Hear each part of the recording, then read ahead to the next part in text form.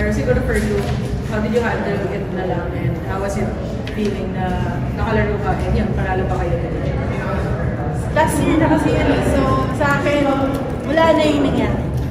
Naka-move on na ako. And of course, yung injury ko na yun, uh, lesson ko na yun. Kailangan ko condition talaga every day. And yun, uh, against this team, gusto lang na talaga na ano, kasi this past few days, bakit nilaro namin. Yun lang. Ay, sa'yo nga nabanggit mo kanina na kayo kulang mga isang confidence na nag sa slow start. Ano yung tingin mo kailangan yung gawin as a team para yung mga susunod na games start pa lang lakas na? Um, for ko, nag-start talaga siya sa training. Kasi kung, kung hindi 100% yung ibibigay mo sa training, same lang din yung mangyayari sa. So, dapat talaga, pagdating sa training, kailangan 100% agad. Tapos, yung mindset mo, kailangan parang uh, game-like na palagi. Para hindi ka magkukulang na sasabihin mo na dapat ganito, ganito. Wala kang pagsisisihan. Coach, kayo paano nyo pinapalakas yung loob nila para umpisa pa lang yung confidence nandun na? Uh, we always remind them na yun nga yung mind preparation, hindi lang hindi lang sa during the game, right sa training dapat when you wake up, going to the practice. Sinasabi namin dapat yung mind mo pre- prepared kung ano man yung mangyayari sa training. And doon lang kami palagi doon sa bumabalik lang kami palagi doon sa goal namin for for this season. Bal, binabalikan binabalikan lang din namin para at least uh, ma-remind din kami like kunyari kung sa training medyo hindi 100% yung binibigay.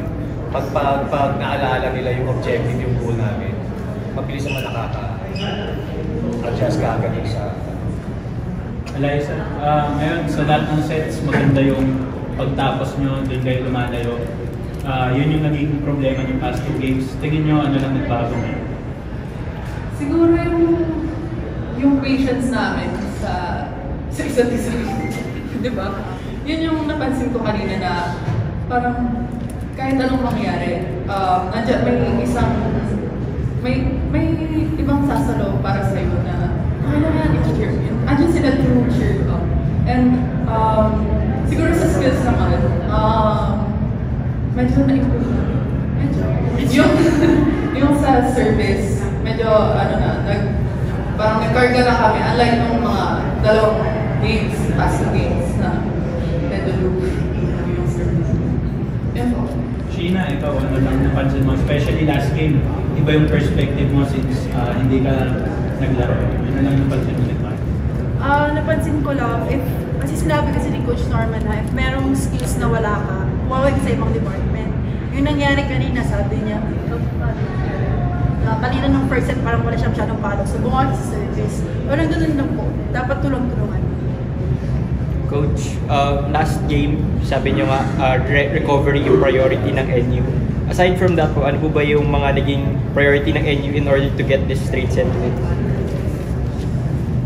Ah, yun din. Um, sa tingin ko, yung drive talaga nila na, I think, kay- yung character sa yung pride. Yung, yung nangyari sa amin na yung last two games namin, first year, we lost to USD. Second game, even though we won against Ateneo, but still it was a five-setter game. Parang walang kulang sa pride yung game na yun eh. So, sa tingin ko, yun yung pinagugutan nila ngayon. At this time, you have to show how how any women's volleyball team really play. Yung normal na play nila na sobrang competitive. So, I think yun yun. Yun yung pinagagalingan.